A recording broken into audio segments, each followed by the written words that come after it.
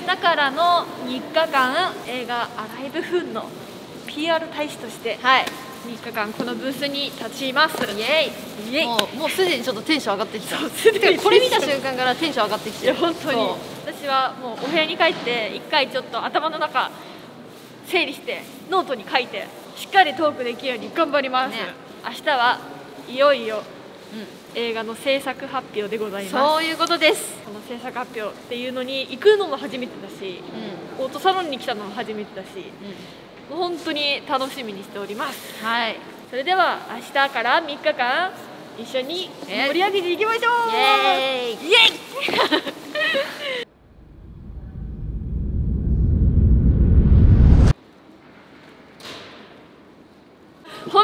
本日オートサロン1日目です。はい。はい。いただいたレーシングスーツを着て2人でブースに立ちます、えっと今日トークショーがあるので、うん。2人でちょっと夜まで予行練習をお部屋でしてきました、う。まいこと、ね。噛まずに喋れたらいいなと思います。そうだね、まあ、話し出したら多分大丈夫なはず。多分ね。なはず。はい。はい、今日は2人で盛り上げていきます。はい頑張りまはい頑張りましょう。イエ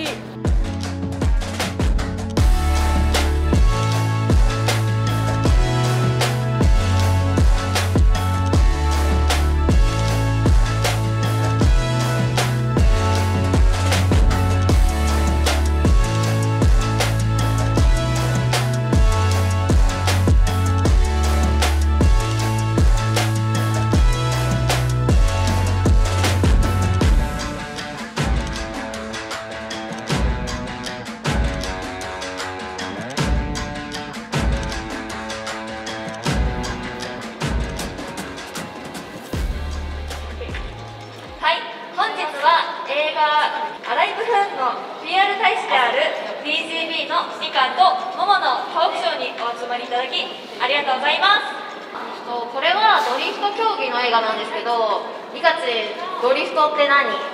はい、えー、とドリフトとは、えー、とタイヤを横滑りさせて走る、えー、と走行方法のことで、えーとまあ、例えると、まあ、普通のなんかタイムアタックレースをスピードスケートというならばドリフトは車のフィギュアスケートっていうと伝わりやすいかなと思います。えー、と一発目のトークタイムちょっと結構昨日イメトレしてきたけどちょっと緊張してちょっとなんかももちんが言う予定だったセリフを私言ったり私のセリフももちん言ったりで、まあ、まあ最終的にまあいい感じに終われたかなと思うけどちょっと2回目3回目とまだトークタイムやるのでもうちょっと話の熟練度上げていきたいなと思います。高速美を、競いますドリフトレース。その魅力のすべてがですね、えーまあ、本当にこう詰まったその魅力に迫る最高峰のドリフトエンターテインメントが完成いたしました。さあそして、えー本日はですね、えー制作発表に、えー際しまして豪華キャスト陣監督さらに、えー監修の土屋圭一さんにお越しいただいております、えー今からですねお呼びしたいと思いますので皆様どうぞ大きな拍手でお迎えください。主演の野村周平さん。続いて吉川愛さん。陣内孝則さん。青柳翔さん。福山正大さん。監修土屋圭一さん。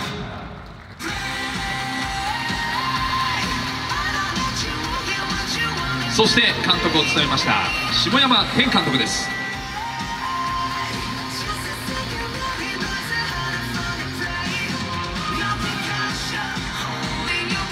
改めまして映画「アライブフーン」キャストスタッフの皆様に大きな拍手をお願いいたします。本日はお日柄もよく、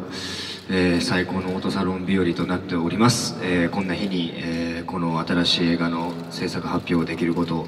本当に心から嬉しく思っております。今日はよろしくお願いします。まずは何といっても監督から伺っていきたいと思うんですけれどもどういった追求をしたのかというところをちょっとお話しいただけますか？こだわりのところあの大体映画ってやっぱりこうあの嘘を本物らしくどう見せるかってことにいつもあの エネルギー使ってるんですけどまずもう今回はまず全てが本物なんですね。今回の映画に関して言うともうその年のもうトップの現役のドリフト車ででさらに撮影はですねなんとリアルスピードででそのスピードに俳優さんたちも全部あの本当のスピードに乗せて、まあ、撮影をあのしました。でやはりもうあの我々大体映画でいうとあのカメラを大切にするんですね。でところがあの今回もうあのもう壊す前提でもうやらせていただきました。もう相当、まあ、二十何台カメラ使ったんですけどドローンが5機墜落して墜落激突ですね。でカメラは全部でカメラも5台ぐらいやっぱり壊れて。でももうあのやっぱ本物に対してやっぱりこっちもやっぱりそのぐらい真剣にあのリスクをあので挑んで撮影しないと素材は生まれないということであのでそういうあの映像が撮れたと思います。え構想が大体2年ぐらいですね。脚本脚本ができるまでで。で2年ぐらいかけてああじゃないこうじゃないってやってそういう中でも関さんと下山さんがその2年間待ってくれた。そこから撮影が始まって2年間という。ですから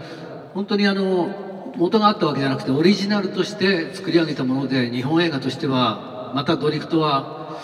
これはもう世界中の人たちが車好きの人たちは認めてくれるんじゃないかなと思ってます。そのワイルドスピード3で東京ドリフトをやった時に実写でちゃんと走ってますよっていう。でも日本の映画だとやっぱりスタントマンとかスタントカーを使うそこに迫力って生まれないんですね。その煙の量もそうだしエンジンの回転数もそうだしその音は出ないんですよ。だからそれを下山さんに無理を言って本物をやらせてくれと。でそれはやっぱ関さんと下山さんが納得してくれたことで今回のこういう迫力あって嘘を使わない全てリアルでいくっていう撮り方ができたんじゃないかなと思います、えー、我々も何回も下山監督と見ましたけれどもぜひご覧になっていただいて世界中の車好きドリフト好きが、えー、称賛してくれる映画だと思いますのでよろしくお願いします。そうですね。僕はあの大場浩一という、まあ、e スポーツ育ちで、まあ、e スポーツだけをやってきた男がそのドリフトに誘われてドリフトをやっていくという、まあ、そういう役どころですね、はい、役作りで意識したところはどんなところでしょう？そうですね、まあ、ドリフトの方は僕は結構好きだったんで、まあ、e スポーツのそのゲームであのドライブっていうかそのするっていうのがやったことなかったんでそこの方が逆に難しかったですね。いやー本当に最初そのドリフトの練習する時にやっぱあの土屋さんも来ていただいて土屋さんの車でドリフトさせてもらうっていう練習方法だったんですけどまあ本当それもまず貴重な経験だしその車をぶつけたっていう福山君がいたんでそれを見てて逆に本当楽しかったですね、はい、やめてください。ちょっとまだ僕のターンじゃないんです。僕も本当車好きで本当に嘘をつきたくなかったんでこの映画をやる時に本当にまあ真剣にやらさせていただきますということでまあそのあのドリフトのシーンだったりとかそういうところも本当に手を抜かずに僕自身も納得いくようなあの映画撮れたなと思っているんでもう100点満点かなと思っています。あの車とそして男性キャストに囲まれるというちょっとまあ珍しい撮影現場だったかもしれませんがどうでしたか、はい、いやなんか本当に新鮮で最初どうしたらいいんだろうっていう不安ばっかりだったんですけどでもなんか本当に面白くてで実際にあのドリフトを見せていただいたりだとかこう乗らせていただいたりだとかあと本当にあの撮影現場もすごい楽しくて全然不安が一、うん、個もなくなって最後まであの撮影できたのですごく嬉しかったです。こう見てるだけの迫力じゃなんか足りないぐらい本当に何ていうの？凄さがすごい体感できてすごく嬉しかったです。ますけれども、まずはあの役どころからぜひ教えてください。あ、役どころはい。あのヒロインの吉川さんの親父です。えー、それであのこれはね、いや本当に正直びっくりしました。日本映画でどこまでできるのかなと思ったら結構こっちの方がすごいじゃんっていう、うん、あの緊張感とかあの臨場感、スリル、スピード。あのドリフトという競技を本当鮮やかになんか切り取ってあってこれはやっぱり下山監督って半端じゃないなと思ってもちろん素晴らしいドライバーさんが運転してくれたっていうこともあるでしょうしやっぱ土屋さんのグローバルな感覚があの世界基準まで持ってったっていう。だから世界に出してもおかしくない作品になってると思います。はい。はい、えー、と実際に、まあ、あのトップレーサーたちと、あのまあ、あの実際目の前に見ながら、まあ、ある意味今日共に作品を作ってたと思うんですけれども、そのどうでしたか？そのチーム感というか。そうですね。やっぱりさっき映像を見てもらったら分かると思うんですけどやっぱ並走す並走するわけですからやっぱ危険っちゃ危険なのでその中でチームの信頼感みたいなのはすごい重要だなと思ってまして、まあ、現場にいる人たちからも感じましたしやっぱりなんか目指すのは車とドライバーさんですけどその他にも、えー整備する人とか、えーもちろん協賛スポンサーの人、えーそしてそれを宣伝してくれる人本当にたくさんの方がいてなんかその一つの勝負に挑んでいくみたいなのはやっぱすごく素敵だなと思いましたしこの映画で映画館で見ていただければすごく伝わるなと思いましたね。車ぶつけちゃったんですか？あ土屋さんその説はすみませんでした。はい。土屋さん大丈夫でしたか？結構ぶつけやがって。本当すいません今いらっしゃるキャストの皆さんと唯一違うのはもう僕だけ心の拠り所が全くなくてですね、まあ、それは原因は自分で作ってしまっているんですけれども、まあ、その中で大切にしていたことっていうのは勇気だけですね。自分を信じる。周りに飲まれずに。それはすごく意識していました。そして、まあ、よりどころがない役というふうにおっしゃってましたけれども土屋アンナさんとの迫力のあるやり取りも面白かったですがどうでした？かいやもう土屋さんが現場にあのいらっしゃった日に、まあ、土屋さんってお二人のアンナさん、はい。いらっしゃった日にもう本当にそのこの作品の世界観が広がったといいますか、まあ、圧倒的な存在感で、まあ、車も大好きっておっしゃられててもう本当に楽しそうに現場でのびのびされてた姿がすごく印象的でしたね。じゃあよろしいでしょうかはい。どうも皆様ありがとうございました。それでは、えーキャスト監督そして土屋圭一さんに大きな拍手をお送りください。ありがとうございました。どうぞお戻しください。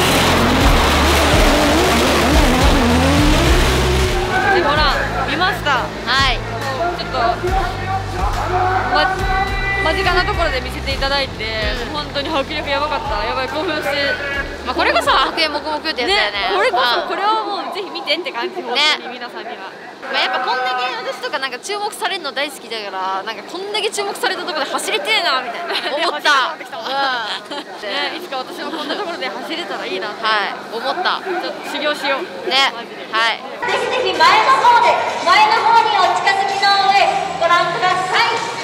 えー、D1 のトップレーサーお二人に来ていただきました、えーまずは2021年シリーズのチャンピオン中村もう一方ですね、えーこの映画の本当に重要な役割を担っていただきましたえー横山さ選手でございます皆さん拍手でお願いしますはい、皆さんこんにちは。えー、リーマックスレーシングチームの、えー、横井正です。よろしくお願いします。えー自分は、まああのこのカラーの車、まあ、野村周平さんが乗る、あのこの1号スタントで、あの運転させてもらいました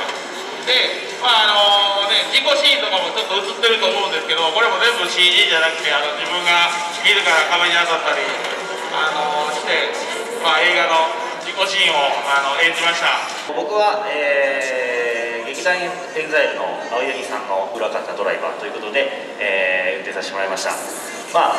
本当に D1 グランプリ以上に真剣にやらなきゃいけないぐらい、あのー本気で走りました、まあ、その中でもですね、あの夜のシーンが出てくると思うんですけども、えー本気で走る分中村選手と接触してしまって結構大破したクラッシュを してしまい、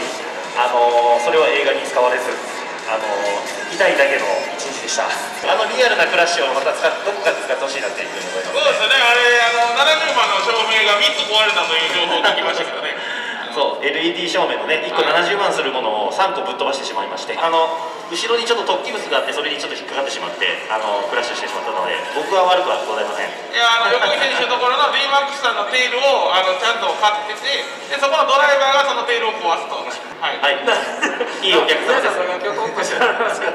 まあ、見どころはやっぱりこの自己シーンだったりこの追走の、あのーシーンとか、まあ、一番なんか無糖のシーンが一番接近してなんか頑張って見えますけど、まあ、もうでも全体的にね、あのー苦労しました。やっぱり映画って、あのー 一発で決めないとその次走るまでにあのすごい時間かかるんでカメラのセットや。そ,、の辺がすごいあの緊張して失敗のないように、まあ、あの横井選手と自分はもう一発 OK ばっかりだったんで、はい、スムーズにいきました。あの中村選手はどちらかというとガがいいんじゃないですか。で主演の野村周平って、まあ、俳優さんですからシュッとしてますよね。その吹き替えをやっていただいてるんですけど多分大変だったんじゃないですか。まあもしね2が出るようでしたらそれまでにね、あのー中村選手には痩せといてもらってねまた撮影しやすいようにしといてほしいですね。ダイエット中ですただいまえーそうですねやっぱりこう物語性がしっかりあってしかもあの e スポーツというねあの今で言うとあのグランツリスモとか、えーゲームの世界がいろいろありますけども、えーその中から本当に実写の方に、えー実写のレーシングドライバーになっていくっていうこう物語があるんですけどもやっぱりこれからの時代それが現実になると思うんですね。あのもうどんどんなってきてます。そういう選手もすでに D1 グランプリにはいて例えばラジコンから上がってきたりとか、えー e スポーツから上がってきたりとかする選手がもうどんどん増えてきてます。その実際あることをあのちゃんと物語性としてこう形になって映像になったっていうのがこう良かったんじゃないかなと。すごい僕も楽しかったです。2022年まだ始まったばかりでございます今年の抱負をですね、えー聞かせてください。まああの2021年と同様あの2022年もあのお客さんが見てて楽しいあの追走をあのビタビタの追走を見てて2022年もシリーズチャンピオンを取りたいと思います。まあ、中村選手にはちょっと申し訳ないんですけど僕がシリーズチャンピオンを取る勢いでねもちろん走りたいと思いますし、あのーまあ、今年はですねタイヤのレギュレーションとかも大きく変わってですね昔みたいにさらにずっとビタビタな水槽が多分見せれるようになると思いますのでぜひ現場にも見に来てもらって、まあ、もちろん YouTube ライブでも応援していただいて、あのーかっこいい走りをね一緒に楽しんでいただければなというふうに思いますし、まあ、僕は変わらず、えーチーム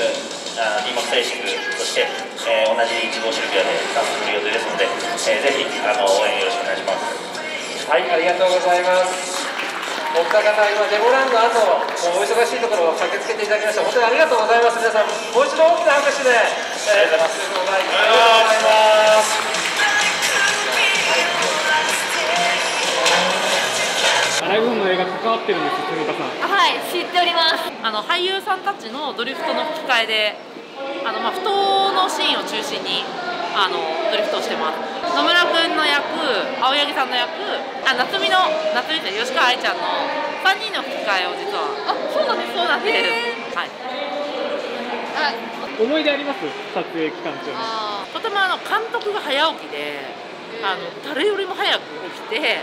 あ本当に日の出の撮影をとなんかしてしたりとか、もう常になんかもう映画のことしか考えてなかったっていうのがすごい印象的だったのと、あとあの主演の、まあ、よ吉川愛ちゃんねヒロインの。ドリフトに乗った瞬間だけめちゃめちゃ喋ってたの。私友達がやっててとか言ってすっごい喋ってて。そうだからドリフトってなんか人を変えるんだなって、うん、いうのはすごく印象的でした。どの辺まで行ったら関わっていけるんだよみたいな。今はなんかドリフトすることで精一杯だと思うんですけどこれが例えば上手い選手と自分がどこが違うかっていうのをある程度言葉にできてきたら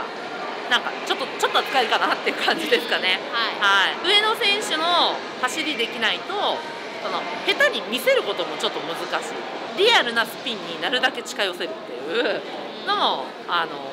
そうですねもうちょっとできるようになってくるといいかもしれないですね例えば撮影であここは上手に走ってくれって言われたら上手にすぐバッて走れたりじゃあここは下手で走ってくれって言ったら バッて下手で走れるっていうのがやっぱ使い分けとかもできるっていうのはとんでもない量の引き出しがあるからこそそういうことができるわけで私たちも引き出しをもっともっともっと住川先生みたいに増やしていきたいですこれから。あでもまあまんま今リカチンが言った通りだなって思いますね。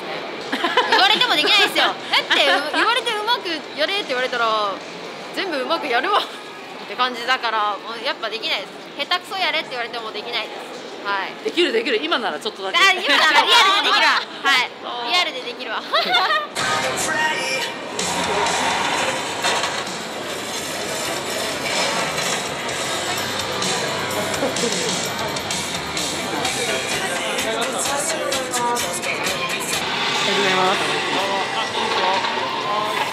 はい、お疲れ様です。今からどちらに行くんですかねあのドリフト天国にあの映画の宣伝を。いやあの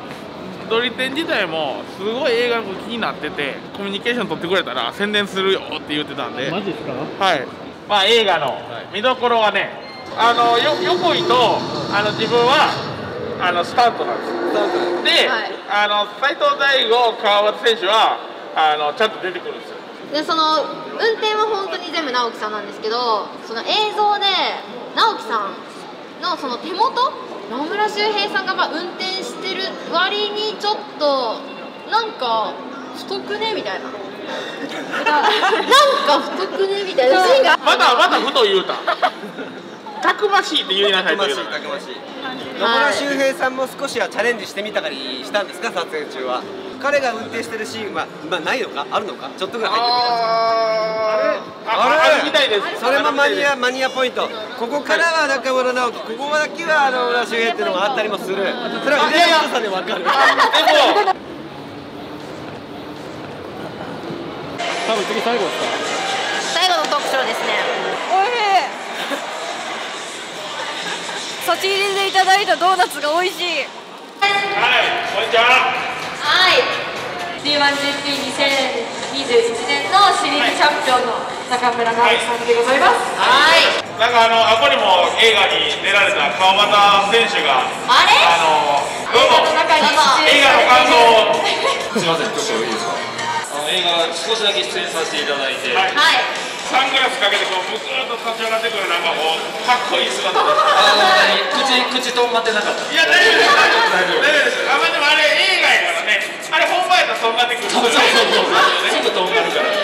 まあでも本番 D1 の時よりもうまく走れてるかもしれない。ああ確かにもうほら帰るよって言ってるから。じゃあ。はい。すいませんありがとうございました。ありがとうございますありがとうございましたありがとうございました突然ですがまたゲストがやってまいりまして映画監督の下山天さんですねいやーもうね監督最初はねあのあれやったんですけどだんだん目超えてきて追走で結構寄ってるのにもっと行ってくださいもっと行ってくださいってめちゃめちゃ攻めてきたんですよね。そうなんですあの僕あの実はあの、まあ、この映画で初めてドリフトにあの出会ってですね、なんと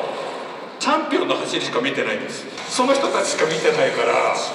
でで土屋圭一さんがもっとビタビタビタビタ。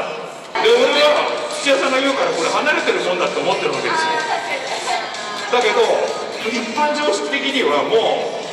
いわゆる D1 の決勝の走りになってるだからどう見てもこうあの重なってるんですけど、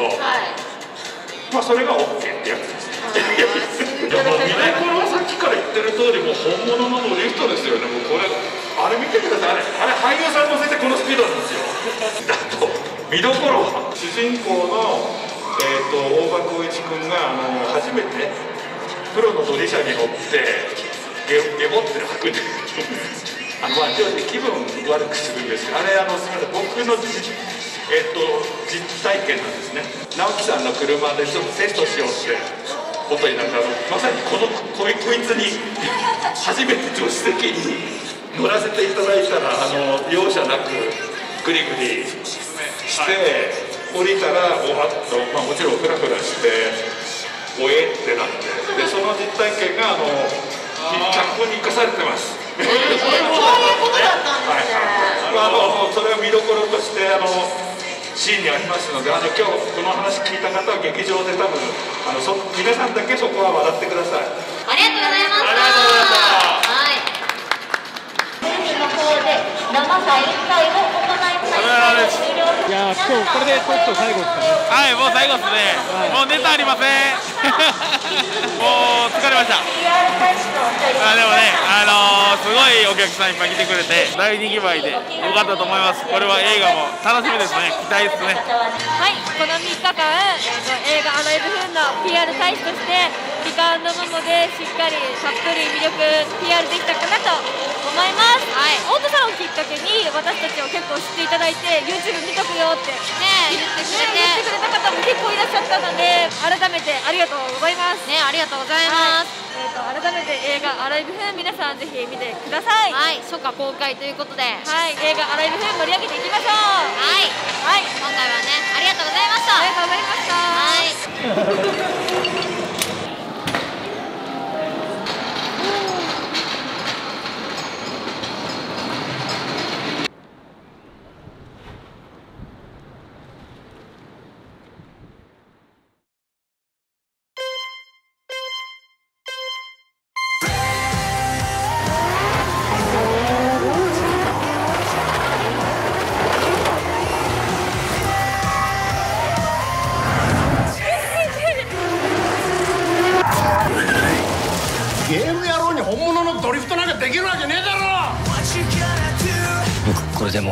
ームでは日本一なんで。